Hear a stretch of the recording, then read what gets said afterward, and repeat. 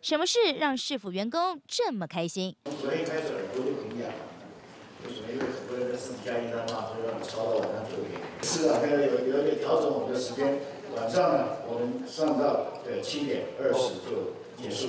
能提早收工下班，全场欢声雷动，放假还得跟着科比嗡嗡嗡，首长们真的累了。有一点完全没改变，就是没休闲，所以我今天结语可能会提议他们要有强制休假。觉得觉得每天都睡不饱的样子。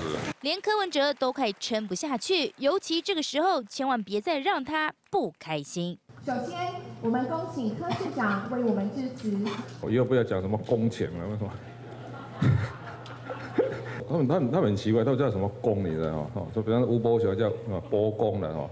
我我听下贵贵贵贵人负责起贵五皮，啊不苏正昌他们在穷工。所以以后就不要再用这种吼那种封建时代的语言了。经典佳话再添一句，幕僚可得好好记。卫生局更大动作，搬出科语录，让全场人拜读，却被解读是在拍马屁。是要拍他的马屁了，但是我要知道他的想法嘛。呃，柯市长讲了一些话，所以我平常就有把它写起来，那我就称之为语录，会把市长讲过的话让同仁参考，或者说遵循。我不晓得，反正我都还没看到，我等下看再讲。首长难得聚会，却变成科神的造神运动。这科语录上写的奇怪耶，柯文哲恐怕又要再脱口而出。记者焦国峰、李佩珊，SNG 小组台北报道。好，刚才我们听到柯 P 的逻辑说，他觉得这不叫做拍马屁了。他说：“哎，这还蛮好的啊，这就是我的概念啊。”还说这会与时俱进哦，算不算马屁？我们待会来问现场来宾。我们来看看啊，这柯语录哦，其实应该说这只是柯语录的结录哦。他说的话实在是太多了。好，包括这个企业文化说要诚实互信啊，崇尚朴实啊，追求薪资、团队精神等等。那么公仆三要素啊，那么主动、速度、良心，特别速度大家感受特别的深刻。哦这个柯 P 就是。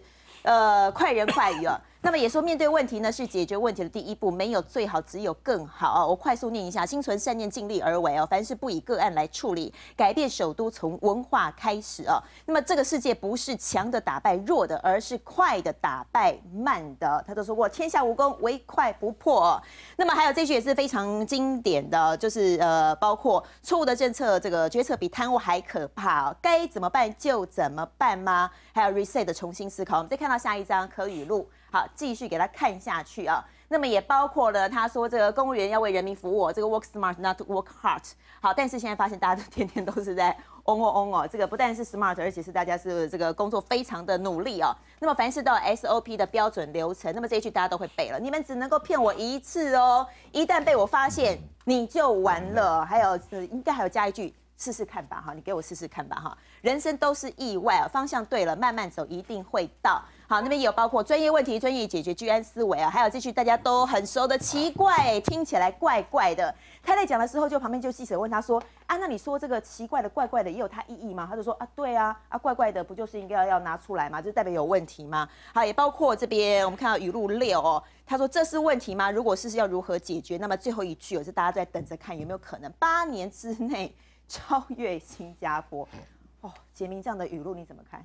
其实媒体上面针对这件事情啊，我有稍微看一下，这是在联合报特别有谈到这个事情啊。那么联合报是说这是卫生局长黄世杰整理的，所以很明显这是一个他们 台北市政府他们彼此要来做个内部的教育训练。那么这教育训练正巧呢，就是由黄世这个黄世杰，呃，黄世杰谁呢？黄世杰其实是柯文哲的老师啊。那我其实旁边就画一条线呢，叫造神。其实早上杰明在看资料嘛，哈，在想说，哎，这个真的有点像造神，把这个科鱼拿进来呢。到底怎么回事？所以呢，蓝绿议员哦，哎，蓝跟绿都有哦，他就是批啊，这根本就是马屁文化。哎，我仔细看，因为马屁文化，我就吓一跳，因为柯批是最讨厌马屁文化。他刚说不是哈？对，等我说完，那就像伯公啊，他就不喜欢讲伯公这几个字，不是吗？那为什么下面讲这句话的时候，这个没有任何意见呢？我仔细拜读一下蓝绿议员怎么讲，他说，哎，你知道他为什么会上会赢啊？就是因为由下而上，来自年轻力量把他往上走，这个拉抬的。那你用科语录就是由上往下，没做这些条文式的内容啊，他就觉得啊，你由上往下这个就觉得很奇怪。哎，委员，那他做这个事情是不是也很奇怪呢？我想一个连公请都不喜欢的，的市长啊，我想应该也不应该会允许他的这个 同仁啊，去把他的说过的话，然后集结成册，然后还印出来给所有人来看，而且那里面有看起来有些根本是因为他说了，比如说什么说话算话，yes or no，just do it，那个刘刘文雄来讲的话就就没有敢。我确定那，可是呢，他讲的话就变科语录我确定第三句是宋楚瑜讲过。对，所以而且那里面很多也是别人讲过的啦，哈。那我觉得更可疑的是说，他没有把他其他的科语录放进去啊，比如说什么给那个破铜烂铁的卖一些钱啊，呃，妻子有话说那英国对啊，就是那人家送的怀表，上一送怀表。那他也说过什么妻子有化妆就还能看啊。什么紫米越久越高级啊？蔡依林不是很旧了吗？像这种，是不是也要纳入可以录？我的意思是说，当然你要去了解市长讲什么话，去判读说这个市长的领导风格，这个没有错啊。我觉得这个角度的问题。可是相对的，其实我们也担心说，你这样会不会有一点过度的个人崇拜？好，然后最后变成说，这会会有一个毛病出来，就是大家都都认同说市长讲的话这样是对的。结果到后来变成怎么样？集体思维会落落入一个窘境，好，那个我们最担心的集体错误。所以如果长期这样下去，其实对对柯政府来讲不是一件好事，啊，你等于说你没有其他声音跟其他思维的存在嘛，啊，所以我是觉得科比对对于这样的事情，除非他今天收集是他所有讲过，不管好的不好的，全部都拿出来。然后那大家来看，说你看市长哪些讲的是不错的，哪些讲的是我们觉得这个也是被检讨的。他自己也承认他说错话嘛，啊，然后他说只要我说错了，我知道能改就好了，啊，所以相对的也应该让你所有市府的团队知道，说我哪些说的是对的，哪些说的是被社会上所批评的。那这样的话，这个可以录，我觉得是可以接受的。可是如果里面收集的全部都是他讲过，其实有些也是别人讲过的。然后变成是他的一个标语跟口号的时候，我觉得这样对对柯世武来讲是不好的，而且长期来讲，我很担心他落入集体思维的那个毛病。然后大家都认为只要科比讲的就是对的，你想的就是对的，你要做的都是对的。那现在才三个月哦，如果未来六个月、一年，那不是更严重吗？啊，在这里呢特别提醒科比了。我我觉得其实刚刚讲到姜委员讲到集体思维的毛病，大家记得。过去有什么样个人崇拜的东西？如果这不叫马屁，什么叫马屁？哈，我真的是非常很诚恳的说，过去大家看到威权时代毛语录，毛泽东会觉得那本毛语录是个人崇拜，是不好，是马屁嘛？蒋介石会觉得蒋总统加言录是不好的嘛？同样的，我觉得其实科比也要用更开阔的心胸来看。我觉得其实刚刚刚刚呃主持人您刚刚提到说，天下武功唯快不破。但是还有一句话叫做“千穿万穿，马屁不穿”，这个就是马屁不穿呐。当你的做下属人说哇怎么吹捧怎么样，说上面的觉得滔滔然啊，这没什么不好的，这是 是这标准。所以我真的觉得忠言逆耳这个东西对于这种个人崇拜，而且刚刚提到那些科语录，有些东西已经在讲人生是意外，废话还要你还要你来提，你觉得是意外，这东西都不需要讲的嘛。所以我真的觉得，尤其卫生这个东西。坦白讲，就算要去拍马屁，那也是研考会的事情。你卫生局，对，你你插什么花啊？卫生关你关你卫生局什么事情啊？你卫生局就管好台北市民的卫生，好把这个东西健康状况做好，那才是这科育路需要你去做。尤其卫生局长是科比以前的老师，也是他的上司，是台大医院副院长。科比以前是他的主任啊。你这个中医做这个东西，我真的想不到其中的中间的一个逻辑在哪里。百思不得其解了。其实卫生局长在这个时候做这个动作，觉得啊相当的不妥。如果那一天真的是个研习，我们要问：现在日本不是有辐射食品进来吗？卫生局做了什么？我去查一下卫生局的网站，他竟然叫这些民众啊，说去对着一些啊产地的编号，然后自己上网去查。这是卫生局现在做的事。你应该对现在我们食安的问题，那柯文哲他当食安小组的召集人，对这一件食安的事做了什么？我一直在看呢。没有做什么，那你今天进来整理这个柯语录啊？结果柯文哲他的回应是什么？柯文哲是说，哎，这个也让这同仁哈比较容易了解我的想法，而且柯语录一直在变，我都觉得回到什么苗毛语录啊，什么什么那个讲我们什么所谓的讲讲公我讲不出来那些加言录，我觉得这个文化真的是要来做一个改变，不要到最后真的变成一个军机处，变成一个正的文化，到最后变成一堂和气，大家一起拍拍马屁，这样就不对了。碰到马屁大家都会晕哦，也包括科批嘛。特别他今天才说，哎，不要讲公情哦，那算是封建我觉得这个用这个科语录啊出来，比讲公请还要严重，还要严重。那另外我再来举一个例子哦，这个是之前郝龙斌，郝龙斌他多么严重啊？郝龙斌这一节这这一本啊，叫做呃客家文化杂志啊，那个时候啊。他用客家文化杂志啊来教大家做什么拜伯公啊，伯公是什么？吴伯雄啊，哦，为了这个啊，他还发了叫做客从伯公哦。结果啊，那一天哦，这一个杂志这个照片啊，原本是用所谓的郝龙斌十大建设，他说这个照片是错的，要换成吴伯雄的照片。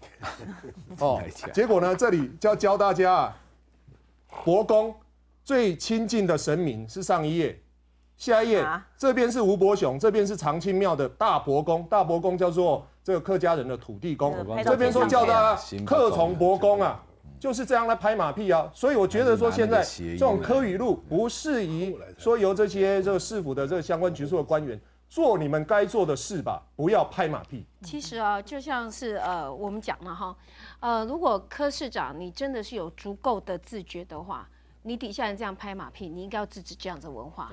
你不要说这个是与时俱进的，我也听不太下去哦。我记得有一次我跟柯批那时候吃饭的时候，我也跟他讲，我说柯批你现在是当红炸子鸡，你讲的话随便就上报纸的头版，然后你出去麦克风都簇拥着你，感觉真好。但我跟他说，我说台湾的政治消费有多快？五年，你注意看。很少人政治人物能够熬得过五年。我说马英九当年当红的时候，对不对？把运动员讲成动物园，总统你累了吗？对不对？过了几年后，哎，鹿茸、鹿耳朵里头的毛，大家引为笑谈，就是这个样子。民意是水能载舟，亦能覆舟。其实你科批朗我们大家就很喜欢，是说觉得说你白目白目的，可是你白目的很诚实啊，你白目的很自然，你甚至有时候你会自嘲自己。那。比起很多政治人物的很多的修饰，很多的身段，科比显然看起来是清新的。可是如果当有一天你底下人，而且那个人还曾经是你的老师，写个写个科语录，你还觉得感觉良好的时候，大家怎么想？我一直记得哈，那时候柯文哲他写过一篇文章，其实让我蛮感动的。我记得那时候是赵建明的案子的时候，他也自己跟我讲，他说我们居然在全市面前矮了身子。他这件事情，赵建明那时候不是有台开的内线交易案吗？他说，你与其去怪赵赵建明，为什么不是去问台大，为什么赵建明可以破格这么年轻就拿到这个位置？是我们在权势面前矮的身子。所以柯批，当你在看别人的时候，你有那样的睿智；你对你自己的时候，你有没有同样的睿智来看待？哦，那今天如果说你还是很很甘之如饴的话，那坦白讲，我必须要讲。可能这个就是变成你要盛极而衰的一个开始。我不是在唱衰，我是讲真的。嗯，哦，马英九，我们过去最常批评他什么？从镜子里头找人，他喜欢找同质性的人。我觉得柯批没有这个问题，这方面我很放心他。但是如果有个同样特点，都是喜欢听好听的话的话，尤其我要很很严肃的讲，我也希望所有爱护柯批或者说爱护台湾这块同呃的这个土地的同胞们来讲，我觉得台湾现在有个我有点忧心的现象。从扁神到马神，我们还有一个科神吗？大家爱科批就是因为他的真嘛。对，他应该。可是我觉得现在发现这样子哦，有时候在网络你批评一点科批什么，就不行，马上铺天盖地，你的箭就射过来了。嗯。可是台湾人，你你要这样子吗？你如果爱护科批，爱护这块土地，你愿意再重蹈这样子的覆辙吗？好，那科批我也很很严肃来讲，因为我从科批讲到什么军机处哦。正哦，他上次包括那个时候的 MG 一四九，那时候人人家就说，有人就说这就是一个很喜欢在自己能够管控的领域里头，小满足小小自己权利欲的人的白目行为。